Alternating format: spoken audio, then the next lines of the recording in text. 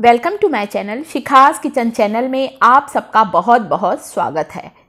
कुदरत का खजाना बहुत ही अनमोल है, जिसमें तरह तरह की दुर्लभ जड़ी बूटियाँ होती हैं, जो कि हमारे आसपास ही होती हैं दोस्तों। परंतु गुणों के, जानकारी के अभाव में हम ये नहीं जानते हैं और इन पौधों को हम खपतवार समझकर उखाड़ कर फेंक देते हैं। परंतु बहुत ही ज़्यादा चमत्कारिक जड़ी बूटियाँ हैं दोस्तों। आज मैं आपके साथ एक ऐसे ही चमत्कारिक पौधे के बारे में जानकारी शेयर कर रही हूँ दोस्तों, जो कि हमें कई बीमारियों से बचाता है। साथ ही साथ दोस्तों, इसका बहुत ज़्यादा, इसकी मेडिसिनल प्रॉपर्टी है। आयुर्वेद में इस पौधे का बहुत ज़्यादा महत्व है। तो आज इस पौधे के बारे में जानकारी दे रही हूँ दोस्तों। ये पौधा जो है, अरंड का पौधा है, जो कि वर्षा काल में अपने आप ही जगह जगह उग जाता है। शायद अभी वर्षा के समय आपके घर के आसपास भी यह लगा होगा। खुली जगह, मैदानी इलाकों में सड़कों के किनारे बहुत आसानी से लग जाता है।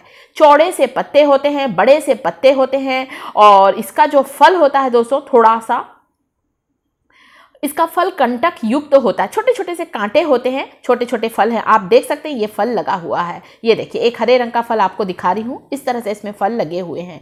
औषधीय बीज है दोस्तों। इसी फलों से, इसी फलों से, इसी बीजों से दोस्तों तेल निकाला जाता है और इसे हम कहते हैं अरंड का तेल। इंग्लिश में इसे कहा जाता है कैस्टर ऑयल तो आज मैं आपको कैस्टर ऑयल प्लांट के बारे में बहुत ही अद्भुत जानकारी दे रही हूँ। जो कि आपके त्वचा से संबंधित कई बीमारी को दूर करता है, पेट से संबंधित कई बीमारी को दूर करता है, साथ ही साथ बालों के झड़ने को रोकता है। तो चलिए देखते हैं दोस्तों कैसे इसका प्रयोग करना है। यदि वीडियो अच्छा लग जाए तो वीडियो को लाइक करना बिल्कुल ना भूलें। तो बहुत ही बढ़िया औषधि का भंडार है कैस्टर ऑयल प्लांट। ये छोटे छोटे हरे हरे से जो आपको बीज दिख रहे हैं दोस्तों, ये हैं अरंडी के बीज। अरंड बोलते हैं कई लोग कई लोग अरंडी बोलते हैं। इंग्लिश में इसे कैस्टर कहा जाता है तो कैस्टर ऑयल वाला जो ये जो प्लांट है दोस्तों, इस तरह के इसके फल होते हैं। शुरू में ये हरे हरे से होते हैं नरम नरम से कांटे होते हैं। जब यह फल पक जाता है दोस्तों तो इसके बीजों से, अंदर से जो बीज निकलता है, उन बीजों से बनाया जाता है कैस्टर ऑयल। कैस्टर ऑयल गुड़ों का भंडार है दोस्तों। इतना ज़्यादा ये फ़ायदेमंद होता है। चाहे जोड़ों का दर्द हो, चाहे बालों का झड़ना हो, चाहे हमारे दांतों का दर्द हो। तो हर चीज़ में आपको इसका प्रयोग बताऊँगी कि ये जो औषधि पौधा है, ये कितना गुणकारी है। चाहे इसका तना हो, चाहे इसकी पत्ती हो, चाहे इसका फल हो, चाहे इसकी जड़ हो। सारी बीमारियों को दूर करता है अरंडी का पौधा। तो शायद आपके घर के आसपास लगा होगा दोस्तों आप लोग इसे ध्यान से देख लीजिए। इसीलिए तो इसकी खेती की जाती है। हमारे देश में कई क्षेत्रों में इसकी खेती जा, की जाती है कैस्टर ऑयल को निकालने के लिए। और साथ ही साथ दोस्तों आयुर्वेद में आयुर्वेदिक जो कंपनियाँ हैं ना इससे कई दवाई बनाती हैं। विदेशों में भी इसे सप्लाई किया जाता है। इस ये इतना ज़्यादा औषधि गुणों से भरपूर होता है। पत्ते का रस भी निकाल लेते हैं दोस्तों, आप चाहें तो पत्ते का रस निकालें। एक चम्मच रस पीने से पीलिया की जो बीमारी होती है दोस्तों, वह बिल्कुल ठीक होती है। लीवर से जुड़ी हुई समस्याओं को ठीक करता है, कफ रोधी होता है, अरंडी का जो रस होता है, पत्ते का रस कैसे निकालना, अभी वीडियो में दिखा रही हूँ मैं आपको।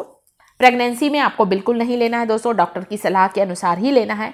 यदि पेट में कीड़े लग जाते हैं तब भी यदि एक चम्मच कैस्टर की ये जो पत्तियाँ हैं, अरंडी की जो पत्तियाँ हैं, इसका रस पियेंगे तो पेट के कीड़े बिल्कुल ही ठीक हो जाते हैं। तो इसकी जो नाजुक नाजुक पत्तियाँ ना दोस्तों, कई लोग क्या करते हैं, इसकी पत्तियों को कूट लेते हैं और इसका रस निकाल लेते हैं। एक चम्मच रस लेने से पेट से जुड़ी हुई सारी परेशानियाँ दूर होती हैं। और आयुर्वेद ग्रंथों में, दोस्तों, इसका इतना ज़्यादा महत्व है बहुत सी दवाई में इसीलिए तो अरंडी के तेल का इस्तेमाल किया जाता है। शरीर में कोई घाव हो जाता ना दोस्तों तो इसके पत्तों को पीस कर उसको पेस्ट को घाव पर लगाएँगे तो आपका घाव भी भर जाएगा। सूजन आ गई है, कहीं मोच लग गई है, इसके पत्तों को गर्म कर कर सूजन वाली जगह पर या जोड़ों में जहाँ बहुत ज़्यादा दर्द हो रहा है, वहाँ पर लगाएँगे तो आप देखेंगे ज्वाइंट पेन से आराम मिलेगा। किसी भी भाग में दर्द है शरीर के या सूजन है आप चाहें तो इसके पत्तों में सरसों का तेल मिलाकर उस जगह पर बाँध ले। पुराने समय में लोग क्या करते थे दोस्तों? गाँव में आज भी लोग करते हैं। बच्चों को जब पेट दर्द होता है ना दोस्तों तो पेट दर्द में भी इसके पत्तों को हल्का सा गर्म करते हैं तेल लगाकर। इतना गर्म जितना आप लोग सहन कर सके, बच्चा सहन कर सके, पेट में लगा देते हैं पत्ते को। आप देखेंगे पेट दर्द ठीक हो जाता है। जिन्हें पीरियड्स में परेशानी होती है, उनके लिए भी ये बहुत फ़ायदेमंद है। कॉन्स्टिपेशन को दूर करता है दोस्तों, और आपके आसपास ये पौधा आसानी से मिल जाएगा। आपको क्या करना है दोस्तों? इसकी पत्तियों को लेना है, थोड़ा अच्छा पानी से धो लें, कूट लें। तो मैंने भी इसकी चार पाँच नाजुक नाजुक कोमल कोमल पत्तियाँ ली हैं। वैसे जो कोमल पत्तियाँ होती हैं, ज़्यादा अच्छी होती हैं। एक चम्मच इसका रस यदि आप लेते हैं दोस्तों, सिर दर्द में भी आपको आराम मिलेगा। दांत खाज खुजली में क्या करना है, इसकी पत्तियों को पीस कर इसका पेस्ट लगा लेंगे। तो देखेंगे जो स्किन डिसीज़ है, चर्म रोग है, एक्जिमा सोराइसिस बिल्कुल ठीक हो जाएगा। इतना ज़्यादा ये फ़ायदेमंद है दोस्तों। इसी तरह से इसका तेल आता है, ये देख सकते हैं, एक आता है ब्लैक कैस्टर ऑयल और एक प्लेन कैस्टर ऑयल आता है। किसी भी मेडिकल स्टोर से आप खरीद सकते हैं या किसी आयुर्वेदिक दुकान से खरीदें, ये जो बीज है ना, हरे वाले, आपको जो दिख रहे हैं, इन्हीं बीजों से इस तेल को बनाया जाता है। दोस्तों, अगर कैस्टर ऑयल को बालों पर लगाएँगे तो बालों का झड़ना रुक जाएगा। यदि गंजेपन की समस्या है तो गंजापन दूर होगा। कभी भी कैस्टर ऑयल को डायरेक्ट नहीं लगाते हैं। एक चम्मच कैस्टर ऑयल को दो चम्मच नारियल के तेल में या किसी भी तेल में, सरसों के तेल में मिक्स करके लगाएँ।